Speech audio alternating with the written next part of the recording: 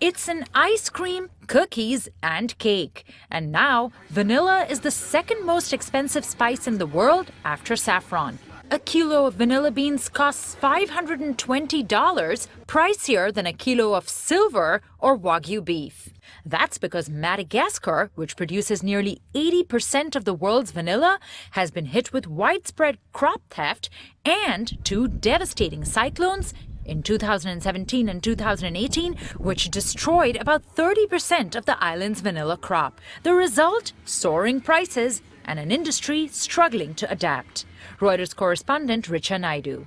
Any company that buys natural vanilla is being hit by this. Um, that ranges from Nestle to General Mills to McCormick.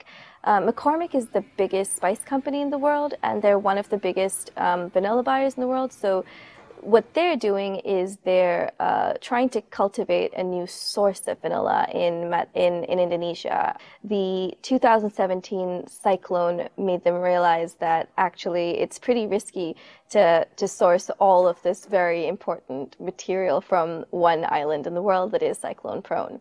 But McCormick's bet on Indonesia as the next big vanilla producer might be tricky to pull off. Currently, Indonesia produces about 100 tons of vanilla a year, a far cry from Madagascar's output of over 2,000 tons. That's because vanilla is not an easy crop to cultivate. They have to be hand pollinated uh, during a four hour window pre dawn. They uh, need certain soil and water conditions. They need to be grown about 10 to 20 degrees from the equator. Um, and which is why they're only grown in certain parts of the world, uh, vanilla beans. And um, it, it, takes about three to four years before um, a, a new vanilla plant can even start producing beans.